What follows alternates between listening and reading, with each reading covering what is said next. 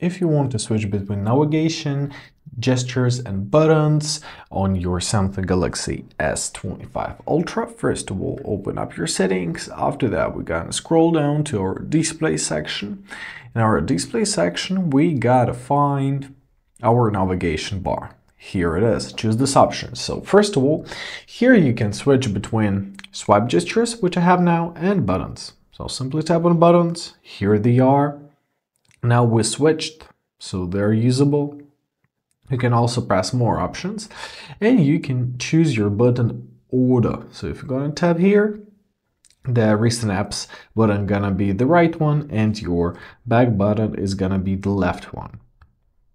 And same goes with swipe gestures. You can press more options and here you can block gestures with S Pen. You can adjust gesture sensitivity, but basically that's it. I hope this video was helpful. Thank you so much for watching. Have a great day and please consider subscribing to our channel.